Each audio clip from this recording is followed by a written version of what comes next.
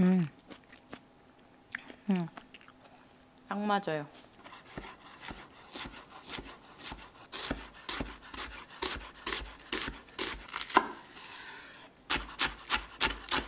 어, 오늘은 더듬으로 성공할 수 있을까요?